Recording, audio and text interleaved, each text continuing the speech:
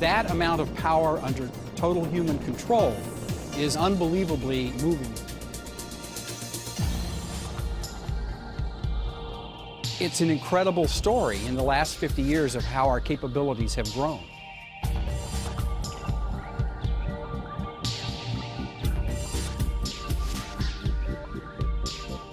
When you see the images of Earth from space, you really do begin to appreciate that we are on this very tiny blue and white marble of life and a biosphere that doesn't exist anywhere else in the solar system.